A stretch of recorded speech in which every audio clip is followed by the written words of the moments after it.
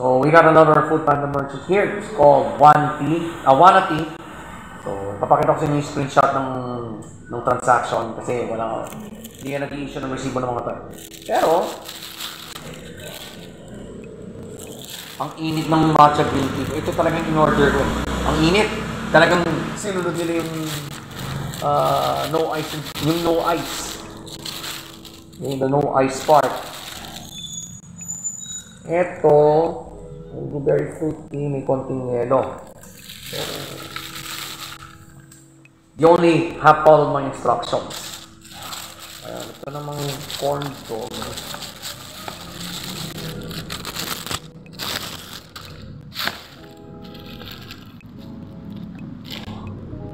Dali lang ah. So ito yung corn ko. So tama. Tama yung order natin. Everything's in order except for this one. May konting ice na nakalagay. When it came to the uh, taste ng ng uh, bilhin natin sa Wannabe, okay naman.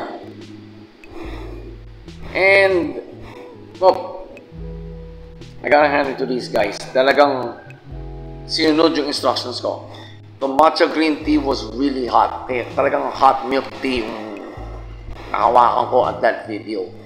Tapos yung, uh, yung blueberry fruit tea, may konting ice. right? May konting ice pa rin. Siguro na naiwan ng, uh, ng crew. Uh, he or she wasn't able to, uh, to take that out. Anyway,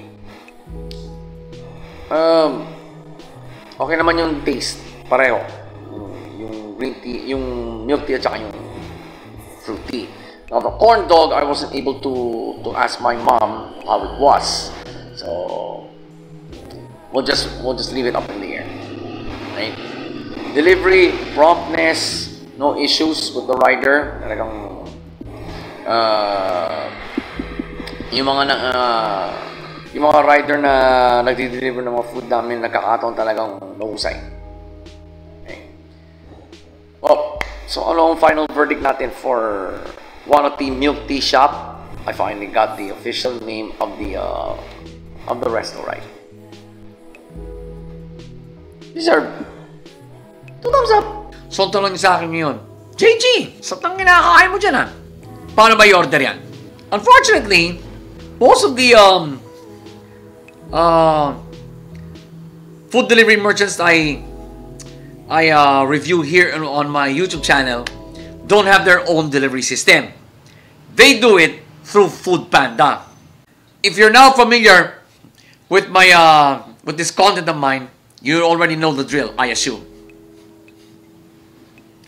Hit my special link in the description so that you can download the app or uh, use their website so that you can order the food I just reviewed right now. And I would like you now to also focus your attention on the other link, which is right below the Food Panda link. It's also a special link of mine which connects to an app known as ShopBack. I myself am a user of their service. Uh, may app kasi ako.